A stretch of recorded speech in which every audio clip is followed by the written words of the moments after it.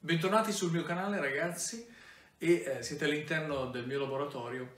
Oggi voglio rispondere a una domanda che è molto importante per coloro che eh, hanno la passione del fotovoltaico. Posso costruirmi una batteria?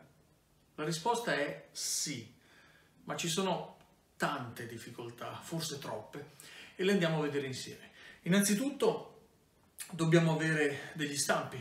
Questo è uno stampo che mi sono fatto costruire in acciaio, dove vediamo lo stampo viene chiuso, qui viene colato il piombo, dopodiché quando il piombo si è raffreddato si apre e abbiamo una lastra di piombo. Questa lastra è di 6 mm. Perché una lastra di 6 mm? Lo vediamo nei dettagli di questo video. Questo è un altro stampo più grande del precedente. Vedete il disegno è quello esattamente di una cella, cioè un rettangolo, con l'attacco per comporre poi la batteria. Anche questo stampo non è così rapido in quanto ha dei punti di riferimento dove lo stampo viene chiuso in questo modo.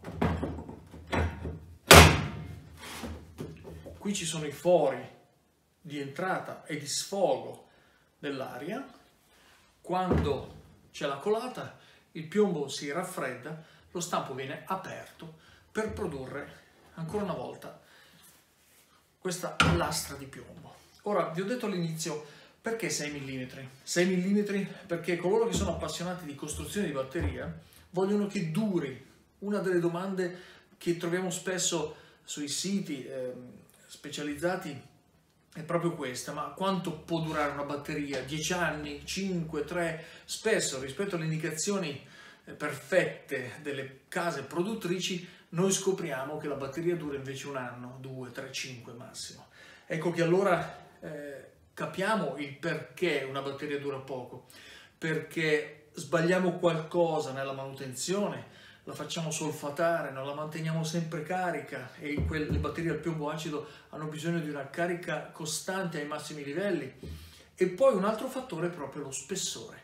Oggi eh, le batterie vengono costruite per venderne altre e quindi eh, sono fatte per durare un tempo prestabilito l'aspetto più importante delle batterie oggi è la compattazione, la riduzione della quantità di piombo e questo ha un'enorme influenza sulla durata. Ecco perché in questo progetto con piastre da 6 mm eh, la durata di questa batteria, di questo prototipo, era intorno ai 50 anni. È un'enormità. Ma è così, solo che il processo lavorativo per riuscire poi alla fine a formare una batteria e a formare le piastre, a renderle idonee, è talmente lungo e, bisogna talmente lavorarci sopra per cui il prototipo è rimasto un prototipo. Però oggi voglio comunque, per coloro che sono appassionati di fai da te di alto livello, voglio comunque raccontarvi questa esperienza perché penso che nel vostro bagaglio culturale riferito al fotovoltaico sia molto molto interessante. Il primo aspetto da prendere in considerazione è il piombo, cioè vi dovete procurare del piombo. Il piombo per poter realizzare una cella, una batteria, deve essere un piombo purissimo, quindi dovete procedere alla raffinazione del piombo. Non pensate di prendere piombo dalle batterie e fonderlo perché fondereste solo i contorni della batteria, ovvero le mandate principali, in quanto gli ossidi non sono facilmente fondibili bisogna lavorare con eh, altissime temperature, con arco voltaico, con ehm, il carbone e quindi non è una cosa facile. Già questo primo aspetto, procurarsi il piombo, fondere il piombo attraverso batterie usate, non è una cosa facile. Io l'ho fatto chiaramente in locali eh, appositamente studiati per questo, quindi in laboratori dove c'è la possibilità di realizzarlo, perché i gas prodotti, eh, ovvero i vapori prodotti dal piombo, sono molto nocivi. Quindi fate attenzione a questi aspetti. E cosa ho procurato? Tutto il piombo che mi serviva per costruire questa batteria. Questi sono circa 2,5 kg ognuno e eh, ne, ho procurati veramente tanti e questi sono veramente pesanti, però come potete ben vedere poi sono stati raffinati fino a diventare piombo puro. In questo modo questo piombo mi serviva per costruire una batteria.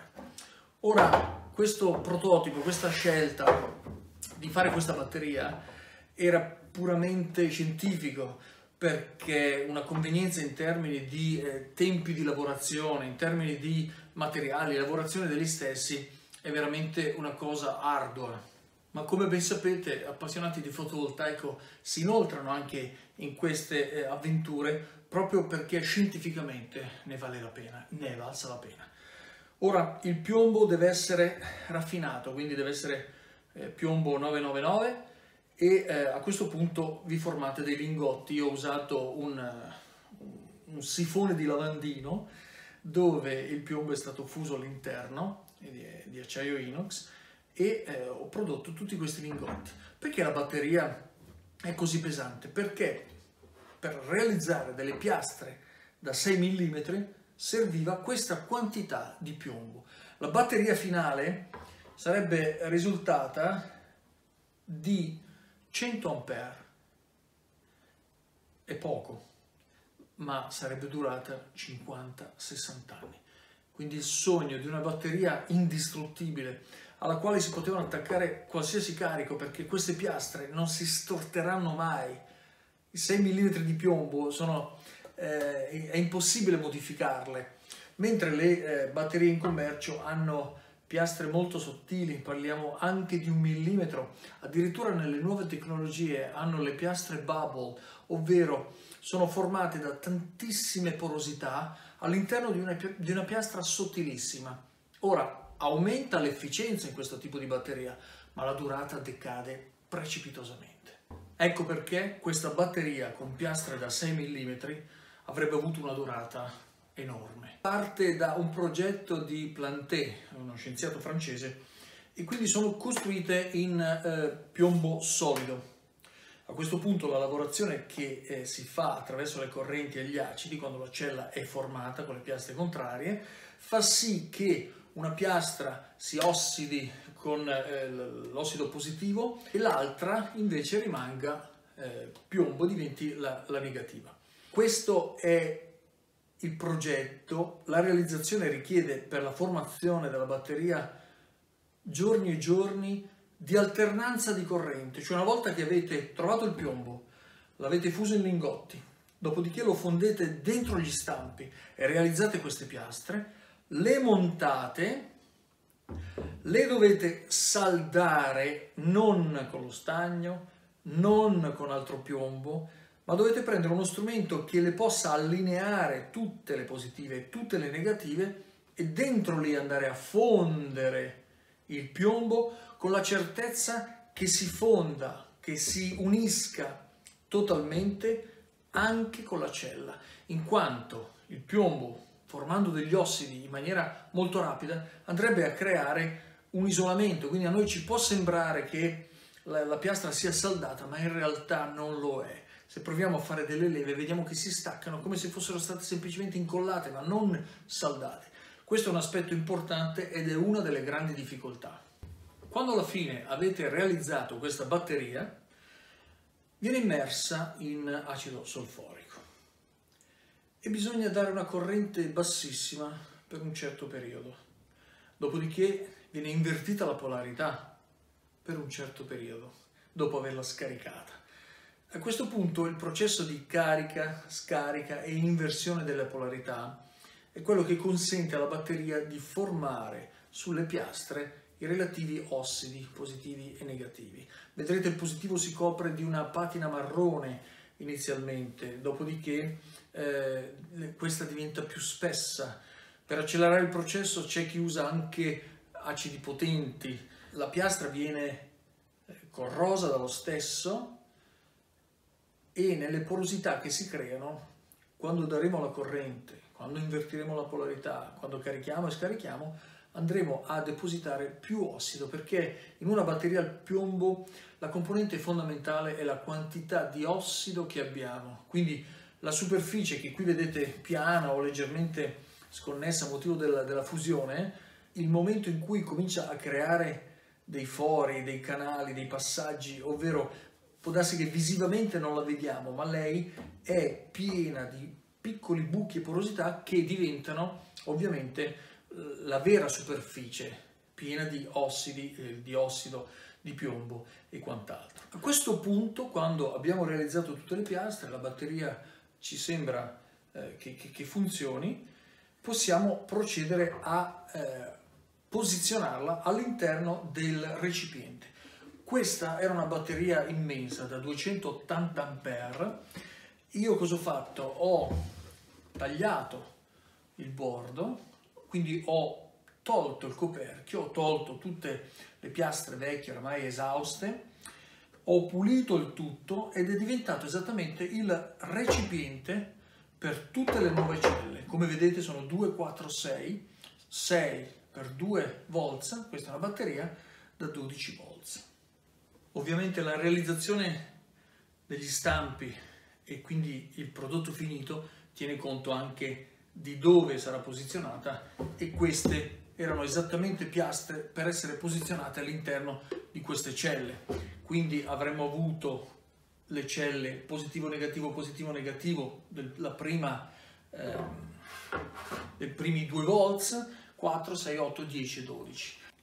Ed era un progetto eh, bello, ripeto, per, per, la durata di queste piastre, che è enorme, per, eh, per il fatto che non si sarebbero mai rovinate eh, per il fatto che ce le saremmo costruite, ma poi durante il progetto, durante le realizzazioni siamo riusciti a ottenere buoni risultati, ma alla fine abbiamo abbandonato perché il mercato del litio in Italia, oramai da qualche anno, prese potere, oggi ancora di più, e conquistò totalmente il mercato fotovoltaico. Voglio fare un piccolo riassunto per coloro che sono appassionati anche di questo tipo di fai da te molto importante, molto tecnico. Eh, bisogna trovare batterie vecchie, esauste, rovinate, bisogna togliere tutto il piombo che c'è in esse, bisogna togliere gli ossidi e portarli negli appositi eh, depositi dove viene riciclato. Il piombo può essere fuso e si fanno degli ingotti.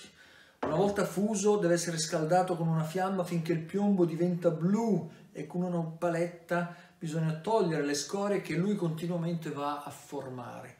Quando non vediamo più le scorie abbiamo un piombo 999. Quando abbiamo i lingotti, in base al calcolo che facciamo per la batteria, dobbiamo avere uno stampo, quindi vedete che le difficoltà sono sempre tante.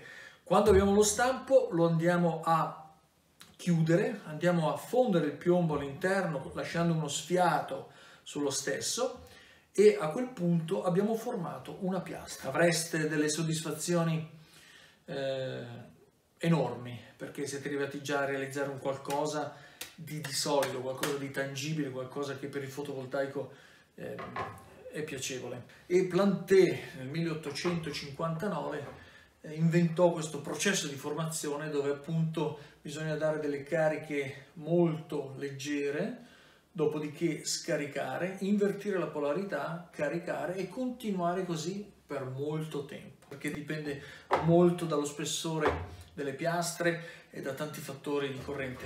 Ci sono già alcuni siti che, eh, che descrivono bene questi tentativi, questi progetti. Però eh, è bello, è bello sapere questo. Una volta formate le piastre, la batteria inizia a funzionare. Cosa succede?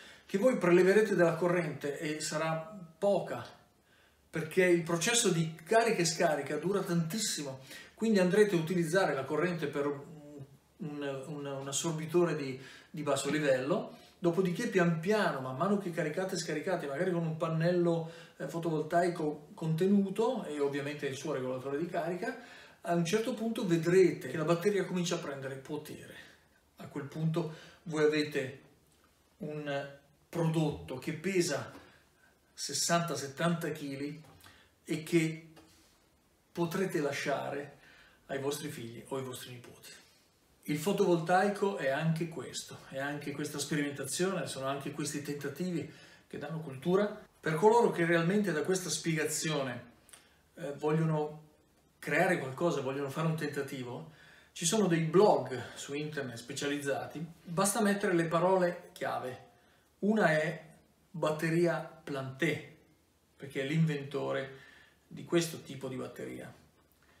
L'altro inventore, sempre francese, qualche anno dopo, si chiamava Foré e inventò un altro tipo di batteria che è quella che usiamo oggi, ovvero con le piastre forate dove all'interno vengono già depositati, spalmati gli ossidi e quindi l'efficienza è istantanea. Una volta eh, preparata la batteria questa subito eh, è funzionale, però la durata rispetto a quella di Planté è enormemente più bassa perché queste polveri, questi ossidi vanno a staccarsi ed è quello che succede nelle batterie normali che usiamo quotidianamente sia per i mezzi di locomozione che per il fotovoltaico. Dicevo le parole chiave sono batteria Planté, autocostruzione di una batteria.